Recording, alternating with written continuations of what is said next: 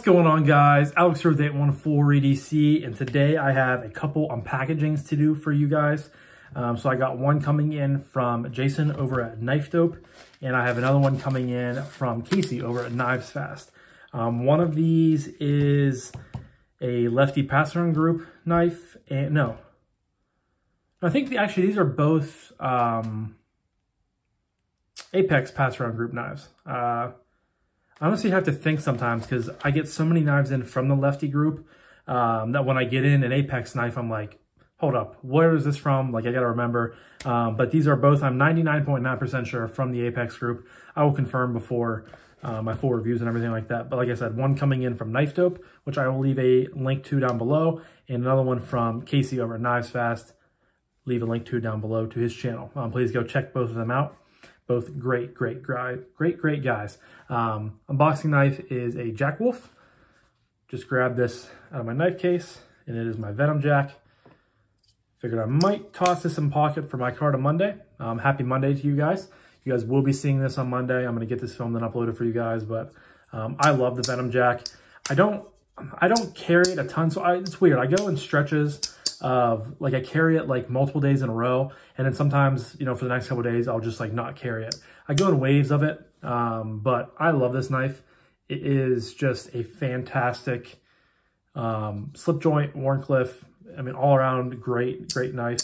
Um, and I'll never get rid of this. It's kind of a little, little side topic, but I will never get rid of this knife because for one, um, I bought it on uh, a trip that my now wife and I took uh, last year. It was the first like real little vacation that her and I took.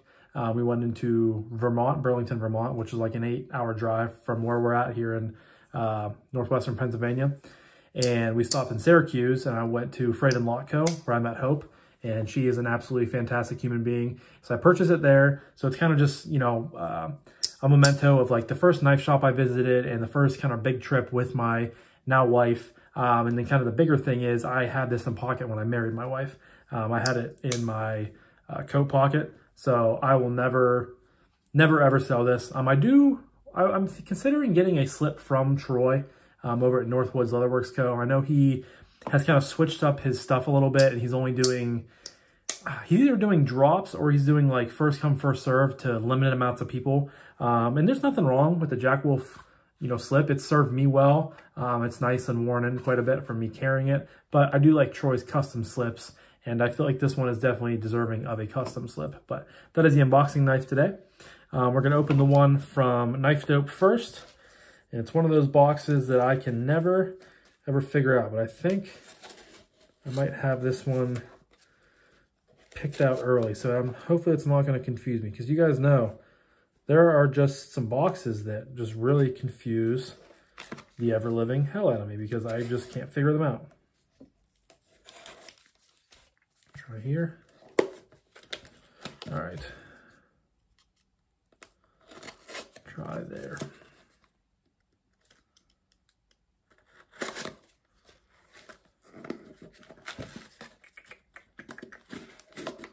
All right, I think I got it. Yes, there we go. All right, now this is a QSP knife. Better knife, better life. I like that um, little slogan. And this is the Capybara. Um, this is an M390 belt, yeah, M390 belt satin blade with a hollow grind. That's really nice. Bead blast tie handle with red, white, and blue carbon fiber inlay.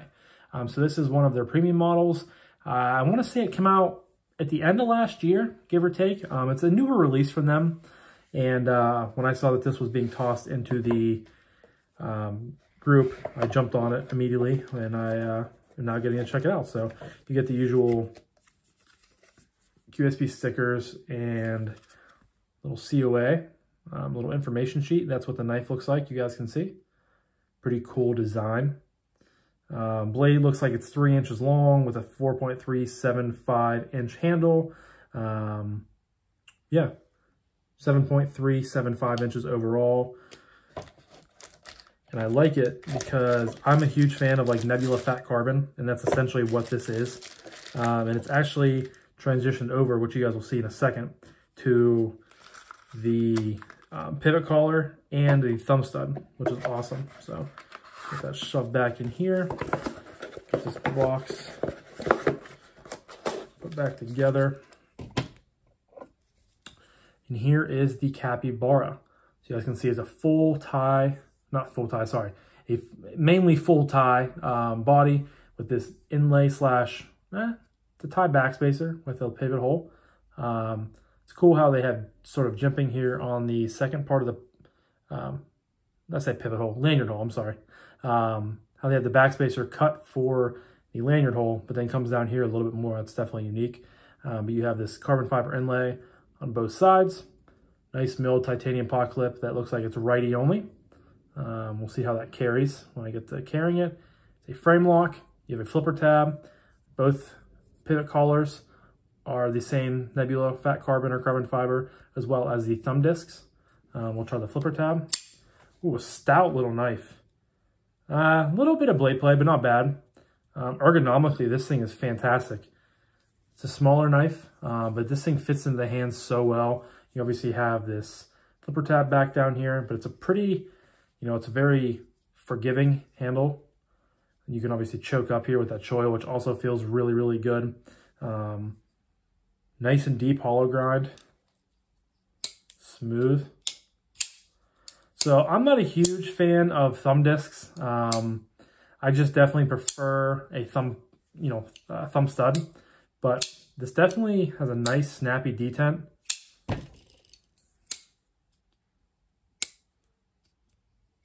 Definitely has taken a little bit of me to pop that ball up out of there.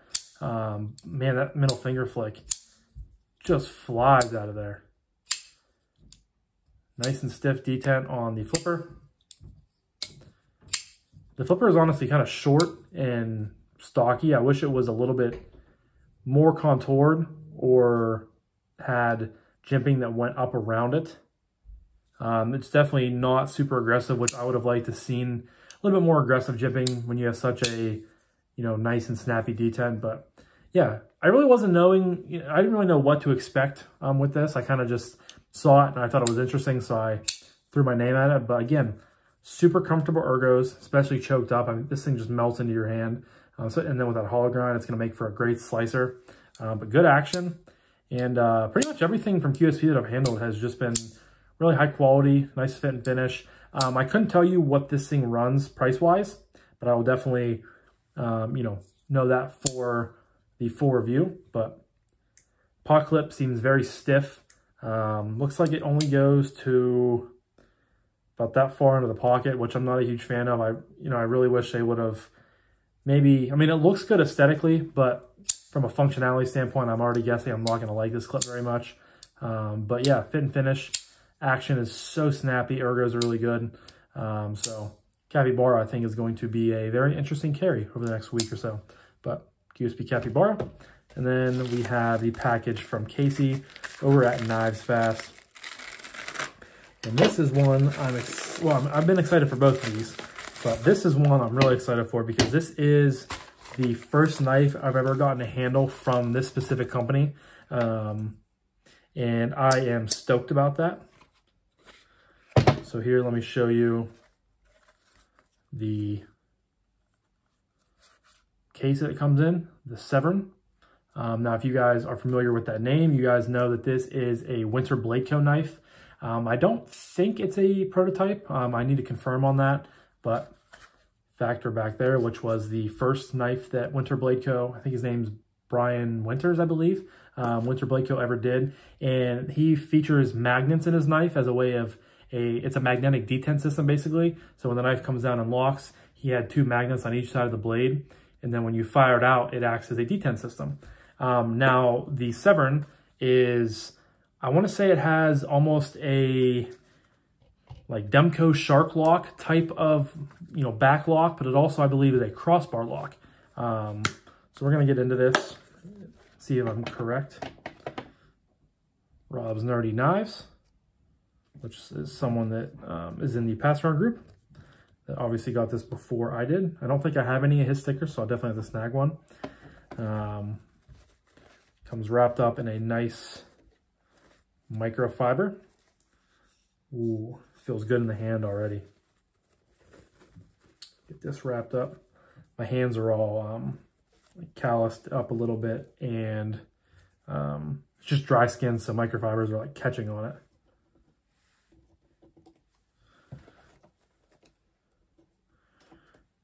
Sometimes stuff gets stuck on this dang table that I'm sitting at, or my, my de this desk that I'm sitting at, but close that back up.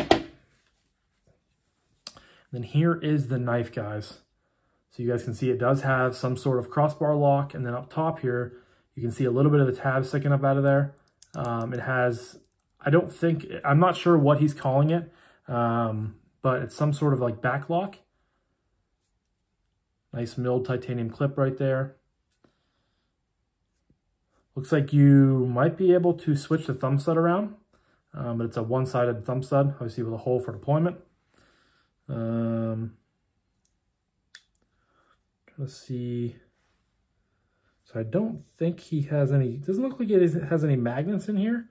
Um, no, I just pulled it open, but winter, yep, winter blade. Then on this side, you just have a sterile um, blade. I can't think right now. I'm just kind of taking in the knife for what it is. Um, beautiful sheep's foot Wharncliffe style blade. Um, nice thin edge. Nice big uh, choil you can use to choke up with. Um, the handle feels great. I want to say it's titanium. Uh, it also might be aluminum. I'm not 100% sure. Um, very, very smooth action.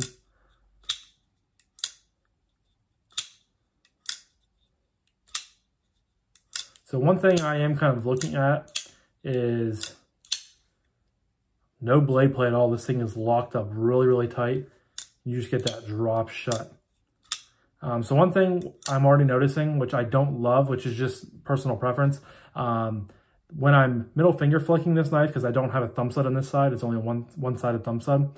When I fire it out, my pointer finger, or my uh, index finger, is right on that lock bar, and it's not causing it to go loose, but it feels kind of weird I feel like if I had a thumb stud, I would be up off of that and then I'd be able to fire that way. But um, just take, takes me a little bit of time to get used to it probably. Try the back lock. Ooh, that's, I mean, that's cool. It's just such a small tab. You guys can see, I mean, it's, it's a small tab right there and it's just actuating the um, AXIS style lock. But this thing is lightweight. It's very, very comfortable. Excuse me. Um, yeah, choked up. Very, very comfortable. Now, again, it's it's acting just like a shark lock, but it doesn't come up out of the back of the knife as much. You guys can see, I mean, that's all you have to do. So it definitely is a little bit getting used to it that way. Um, but this thing is a rad knife. Um, I'm really excited for you know, to get this in pocket. Looks like the pocket clip works really well. I love just the, you know, all DLC coated. Um, I want to say it's aluminum. The more I feel it, I think it is aluminum, but I could be wrong. I'll definitely have to check some specs on this before I do my full review for you guys. But um, really dope knife. Great materials. It's probably like M390. Um, so yeah, but this was my unboxing of the Severn, the sorry, the Winter Blade Co. Severn and the QSP Capybara. Get both of these in there for a little thumbnail. At least I'll try to. Do, do, do, do, do. You guys get to see all this behind the scenes footage. Um, but yeah, we'll see how that turns out. I'll probably end up doing something else. Um, but thank you guys again so much for watching. I greatly appreciate each and every single one of you guys. I hope you have a fantastic rest of your morning, evening, day, night, whenever you're watching this. And I'll talk to you guys in the next one. Peace.